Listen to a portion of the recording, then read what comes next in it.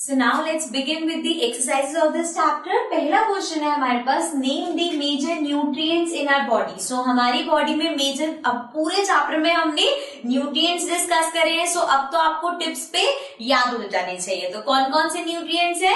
Carbohydrates fats proteins vitamin and minerals okay the major nutrients in our food are carbohydrates proteins fats vitamin and minerals okay अब हम इन सबकी details वगैरह सब कुछ पढ़ चुके हैं कि किस किस से क्या क्या चीज़ें मिलती है और क्या क्या चीज़ें किस किसमें प्रेजेंट होती है है ना? अब आ जाते हैं अपने सेकेंड क्वेश्चन पे नेम दी फॉलोइंग सो यहाँ पे कुछ आपको स्टेटमेंट्स दे रखे हैं, आपको उसे बताना है किसकी बात हो रही है जैसे कि the first one is the nutrients which mainly give energy to our body so अब इन पाँच न्यूट्रिएंट्स में से कौन से ऐसे न्यूट्रिएंट्स है जो एनर्जी देते हैं। आपको याद है जब हमने सबसे पहले ने डिस्कस किया था? तो जो फ़र्स्ट हमने कैटेगरी बनाई थी, वो थी एनर्जी गिविंग और उसमें कौन कौन से थे? कार्बोहाइड्रेट्स एंड फैट्स अब फैट्स थे स्टोर्ड एनर्जी बट यहाँ पे हम मेंशन करेंगे कार्बोहाइड्रेट्स क्योंकि वो इंस्टेंट एनर्जी प्रोवाइड करते हैं। So the answer is carbohydrates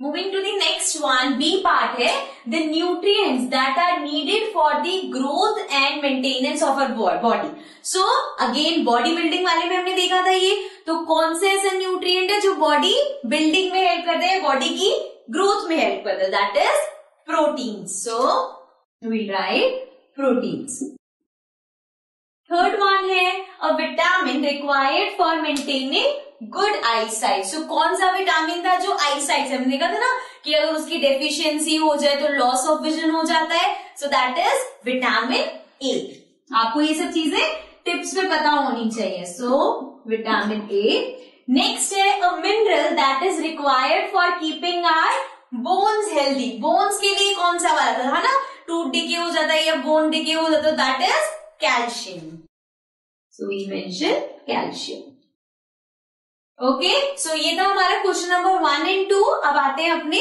remaining question पे.